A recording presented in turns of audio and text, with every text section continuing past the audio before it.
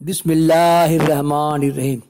اللہ صلی علی سیدنا و مولانا محمد النبی الامی والہ و صحابی بارک وسلم۔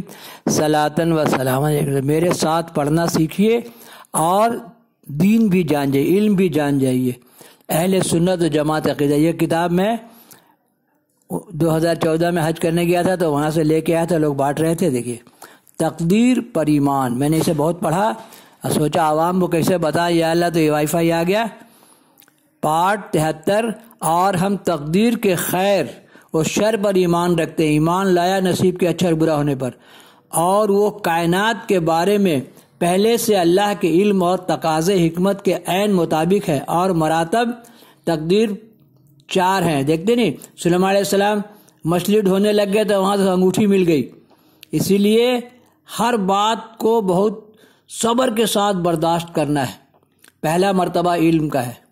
ہمارا ایمان ہے کہ اللہ ہر چیز کے بارے میں جو ہو چکا ہے اور جو ہوگا اور جس طرح ہوگا سب کچھ اپنے ازلی اور ابدی علم کے ذریعے جانتا ہے۔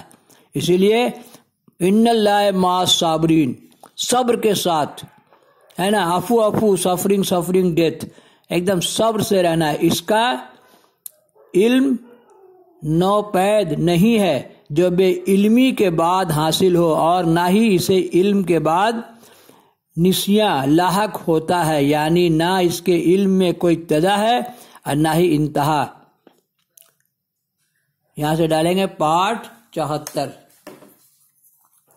میرے ساتھ پڑھنا سیکھیے، سنیے، سنائیے، دیکھیے دیکھائیے لائک و شیئر کی گھنٹی بجائیے، انیس ہزار زبان میں ڈالیے۔ اپنی مادری لوکل زبان میں ڈالیے سند آپ کے پاس میں ہے۔